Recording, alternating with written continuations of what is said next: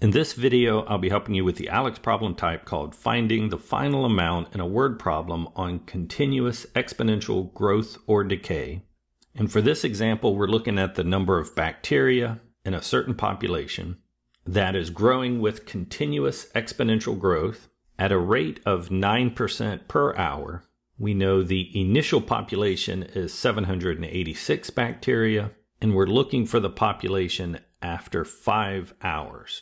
And our equation for continuous exponential growth says that the final amount would be equal to the initial amount times E, which is our constant, raised to the R, which is our rate per unit time, times time.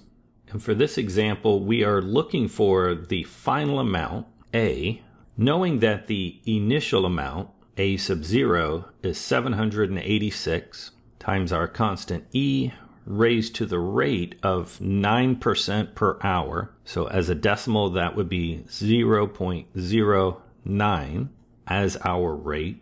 That rate is per hour, and the number of hours is five hours. So our time is five. The A that we are looking for is isolated on the left-hand side. On the right-hand side, I can simplify this a bit by multiplying those two exponents to be 0.45. And then to avoid any intermediate computations, I use Desmos, plugged in this expression exactly as it is.